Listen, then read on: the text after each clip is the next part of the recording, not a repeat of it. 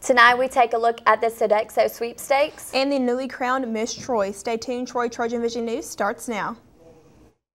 From the High Definition Production Center of Troy University's Broadcast and Digital Network, at Troy, Alabama's International University. This is Troy Trojan Vision News. Hello and welcome to Troy Trojan Vision News for October 26, 2015. I'm Deborah Bogart. And I'm Jordan Elston. Thank you for joining us this evening.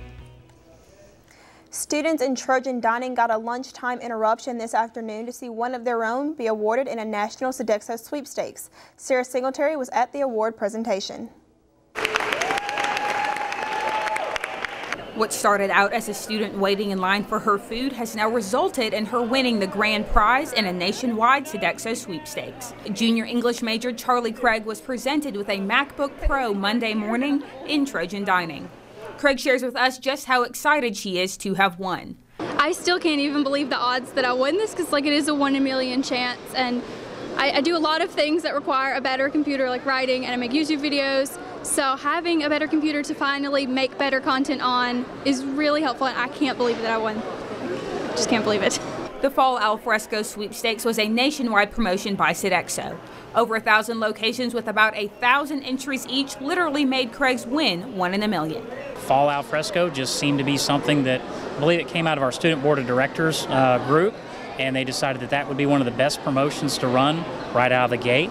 So I think out, out of, and I could be wrong, I think it was about a thousand or 1,100 colleges and universities across North America ran this promotion. And if you have an average of about a thousand students per location do this, you can do the math. This was a one in a million shot. Sodexo hosts two nationwide sweepstakes per semester, and by participating in these events, Trojan Dining hopes to show its students that there is more to the on-campus dining hall than three meals a day. Grand Prize meaning to, to us is actually, you know, the taking the name of the Troy University to the global. We also that, you know, the letting our students know that you know that you can engage with a lot of different events. We are here actually provide a different service. We're not all about the food service. That we also try to entertain, engage with our students with a different event. Trojan Dining and Sodexo will host another promotional event this semester and two more in the spring. Sarah Singletary, Troy, Trojan Vision News. For more on Sodexo promotions and sweepstakes, visit sodexousa.com. This past weekend, some of our own Troy University students got to dress up in their most glamorous gowns, all in hopes of taking home a crown and the chance to represent Troy University for a year. And what beautiful young ladies we have competing this afternoon for the title of Miss Troy University 2016. On Saturday, October 24th, 10 Troy University students vied for the title of Miss Troy. The ladies competed in a number of portions, including swimsuit, talent, interview, onstage question, and evening gown. After all the scores were tabulated, Leah Livingston, a junior communications major from Tallahassee, Florida, took home the crown. And the prep work is crazy intense, but it's just been a blast getting to know these girls, um, getting to make new friendships and relationships, and just getting to have fun and feel beautiful and look beautiful at the same time. Part of the requirement as Miss Troy is to establish a platform that she will advocate during her reign. Livingston says she plans to use her time as Miss Troy University to positively impact younger girls in the community. My platform is Girls Inc., inspiring girls to be strong, smart, and bold, and it automatically just helps girls in, um, it's like an after school care setting in the sense that they have somewhere to be, somewhere to grow, somewhere to go to, and a home away from home, and maybe even a mom away from home, just inspiring these girls to be the best that they can be. With the conclusion of Saturday's pageant, Livingston said this is when the real work begins as she prepares to compete against the other school representatives in Miss Alabama. I'm looking forward to the events and getting to compete in Miss Alabama this year. I'm excited, I'm nervous, I don't exactly know what goes into that, but I'm excited that I have two amazing directors by my side to help me, Miss Sarah Jo Burks and Mr. Rob Drinkard. Also receiving honors were first runner-up Carly Spencer, second runner-up Lacey Marcus, Third runner up and Miss Congeniality was Kaylee Sanders. Fourth runner up, Angeline Kendall, with Jalen Morrison receiving the People's Choice Award. The 2016 Miss Alabama pageant will take place June 8th through the 11th. When you think of art, the normal styles that usually come to mind are sketches, paintings, or sculptures. But on Saturday, the Johnson Center for the Arts had something else in mind. Ryan Renfro gives us not just a look at a different version of art, but even a sound. That was the sound of an art that is usually found outside city limits. But by the abilities and efforts of Pike County students and members of the Johnson Center for the Arts, this unique form of art has found its way out of the wilderness and into the streets of Troy. What we decided to do was take our students back to the beginning of art and let them draw and express themselves through nature. And uh, we have a wonderful display of student art and taxidermy at the Johnson Center. And you said, well, why are we doing something with hunting? Well, the oldest art, art really began with the hunt man representing the hunt. Students and families in attendance got to experience the art of the wild firsthand from a man who says that he is the richest man in the world, not by dollars, but by experiences. What I am is I'm a game call manufacturer, and that is an art in itself in being able to create the different products that uh, will reproduce the sounds of the American wild turkey. I look at it from the standpoint that, that it is very much of an art for that um, man or woman that can sit there and God's greatest creation, you know, our outdoors and use and utilize, you know, these products that not only I but other companies make to be able to har- call that bird in and harvest that bird. The Johnson Center's infectious wildlife fever is not only just an art display, but members and volunteers hope to raise money for a group of local archery students who are shooting for more than just a target. We came today uh, for the exposure of our program and we do have a regional competition in Ozark scheduled in March. If we qualify there, we are eligible to go to the state tournament in Montgomery, Alabama, near Cramton Bowl at that sports facility. Uh, that will be the 7th of, of, April, and if we're lucky enough, we'll qualify for the national championships, which are held each year in Louisville, Kentucky. This is my first time like shooting for real, so it's like shooting and having a good time. It's my first time mainly doing this. I However, to try best and everything like that. Be focused. Don't worry about anything. So be your mind on the target and do your best. We went to Kentucky last year, like he said, and it was one of the best experiences that I've had. Seeing everyone shoot and uh, the thousands of people that were there. Ryan Renfro, Troy, Trojan Vision News. The Johnson Center will be hosting a student art exhibit until November 14th. And now taking a look at news from around the state.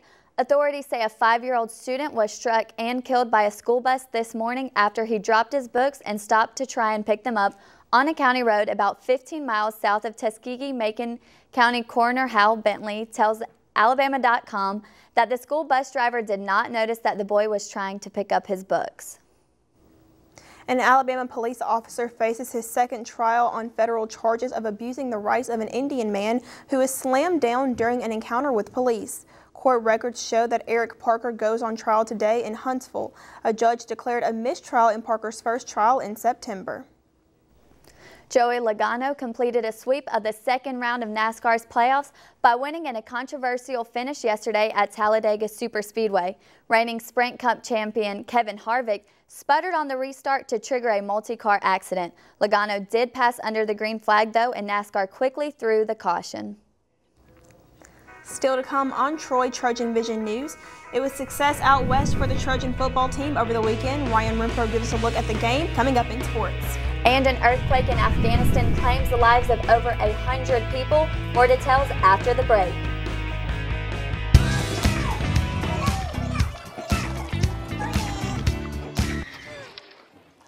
Looks like it's done.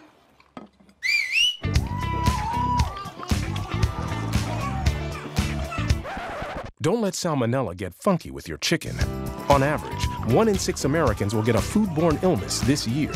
You can't see these microbes, but they might be there. So learn the right temperature to cook each type of meat. Keep your family safe at foodsafety.gov.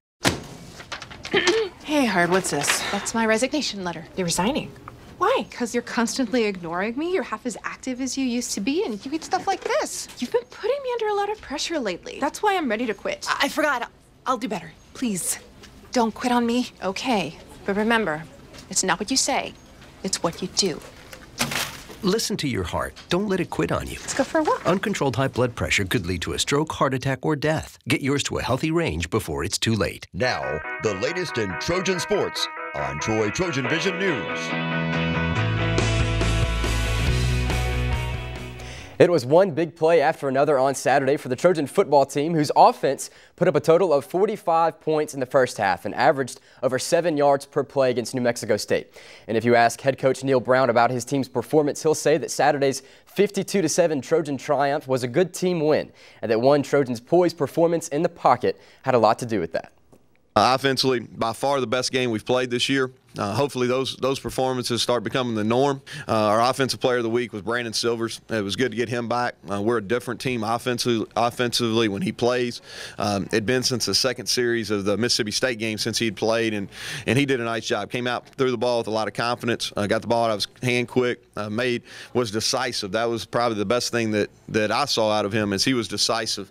Silver's decisiveness led him to complete 23 of his 37 passes for 288 yards. And wait for it, five touchdowns. Now, when asked what it felt like to get back on the field, Silver says that his absence due to injury was simply fuel to the fire of his dedication to return.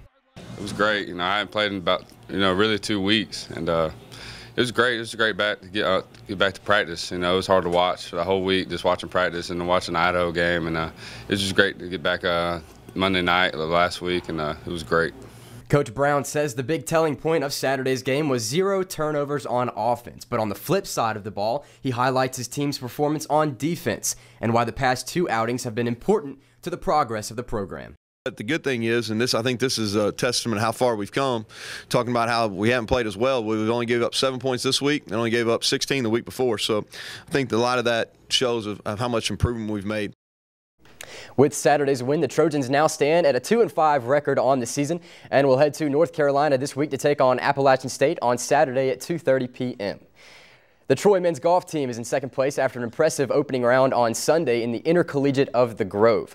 Junior Clayton Vanoy led the way for the Trojans, shooting a 1 under 71 and tying for fourth place, while redshirt junior Cam Norman currently stands in eighth place. As a team, the Trojans fired a tournament high 17 birdies to open up the first round and teed off in the second round earlier today at approximately 10.03, and they are paired with Lipscomb and Kentucky. Now, the Trojan soccer team was back in action as the winningest class of seniors in program history took the pitch on Sunday for the final home match and regular season game of the year. The Trojans showed off their endurance as the game went to two overtimes and ended in a 0-0 draw. Head coach Jason Hamilton shares his thoughts on the game and as the conference tournament draws near, the importance of taking advantage of every opportunity. This year, I've mentioned a few times, we've used the word opportunistic more than ever before, and uh, we have 19 shots. You have, you have, to be a little bit more opportunistic around the goal, especially with, uh, you know, give a lot of credit to um, Little Rock's goalkeeper. Uh, she's been phenomenal for them all year, kept them in some big games against some non-conference opponents, and there's a reason why they're, you know, have made such a big jump, and, and she's a part of it. So, uh, you know, we just have to be a little bit more opportunistic in those chances, and uh, especially when there's a team that's defending that much and so many bodies back there. With the draw bringing an end to the regular season, Hamilton says that this year's senior class is one to remember and that the desire to win is stronger now more than ever. They're a phenomenal class. Um, you know, they've it hasn't been easy for them. Uh, we, we, we, play a lot different. We've played some of them in different positions. We're asking a lot of responsibilities that they didn't have, uh, you know, when they were before I got here and, and before they, they came to college. So uh, they've really, really done a good job kind of adjusting to those roles that we've asked of them. After how last year when they saw that their senior year was a good opportunity for them to to be very successful like we have been so far, and you know they're hungry and they still want to come out and win a conference championship for us. That conference tournament is just over a week away, and with a handful of youngsters on the team, one senior shares how she plans to lead.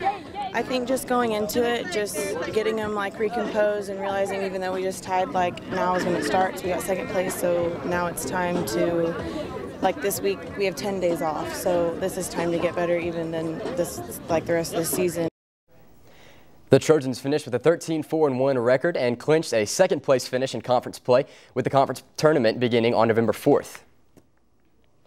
Now let's head out to New Orleans where the Troy men's and women's tennis teams had successful performances on Saturday in the Big Easy Tennis Classic. On the men's side, sophomore Callum McKinley won the singles Flight 6 title, but it was his own teammates who stood in the way. McKinley took down Trojans Jeremy Broad, Andre Baldo, and Sam Bird to take home the number one spot.